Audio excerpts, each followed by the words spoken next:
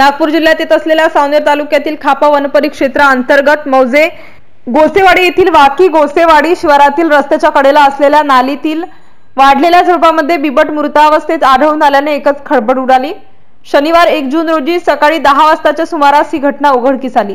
या घटनेची माहिती खापा वनपरिक्षेत्र अधिकारी यांना मिळताच वनविभागाने वनविभागाचे कर्मचारी घटनास्थळी दाखल झाले. वन अधिकारी सचिन आठवले यांनी आपल्या सहकाऱ्यांसह घटनास्थळी पंचनामा करून मृत बिबटास शवविच्छेदन व अधिक माहितीसाठी वन विभाग कार्यालयात आणले. यानंतर तज्ज्ञ डॉक्टर तसेच वन कर्मचारी यांच्या समक्ष मृत बिबटचे शवविच्छेदन करण्यात आले. शवविच्छेदनामध्ये पशुवैद्यकीय अधिकारी यांच्या निरीक्षणानुसार बिबट्याचा मृत्यू अज्ञात वाहनाच्या धडकेने झाल्याचे स्पष्ट झाले आहे.